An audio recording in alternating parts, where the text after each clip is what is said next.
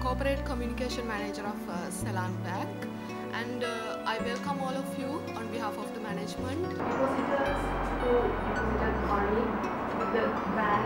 They probably own billions of rupees to depositors. So how can you assure that uh, your bank will not do the same? is and we believe at this juncture we all have to sit together and sort things out. the team is clicking and is scoring and you bring in five changes and average of these people who are changed, their average scoring was only 2% and some of them have not played in the last several months. That's why I am telling, yes, I firmly telling you that if there's any allegation, we can, you know, have a committee and investigate to clear our player's name.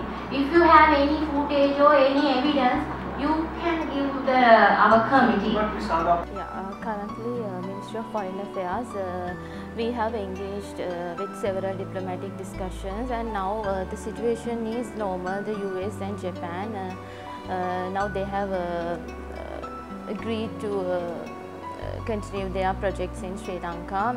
and uh, 7,500 in the apparel sector. That is the highest exports to the EU from Sri Lanka. So, and our fa- fashion apparel, our apparel industry, we have already taken action regarding uh, these uh, most of the facts that they have been uh, included in the charter. Uh, then it will have some tax-free and uh, duty-free facilities for our exports such as uh, textile and handicrafts. we have established the right institutions. We do have the institutions, and the institutions have shown to the world we are a, a vibrant uh, democracy in the world. Okay, thank you.